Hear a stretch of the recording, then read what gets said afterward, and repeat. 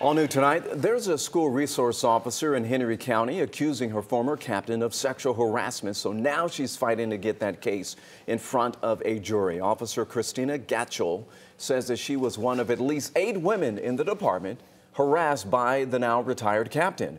Her attorney says that he touched her inappropriately during his retirement party and then later bragged about it. She says before all of that, she endured months of sexual comments made in front of other officers and her superiors.